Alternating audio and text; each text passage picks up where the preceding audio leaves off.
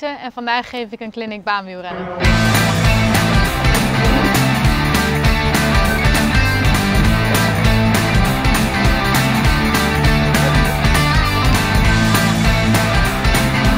Naar beneden weer goed tegendruk geven.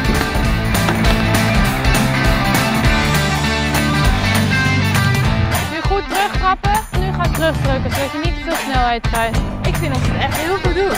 Ik sta er echt van te kijken, dat gaat zo hoog. Uitstekend. Eitje. Super hè?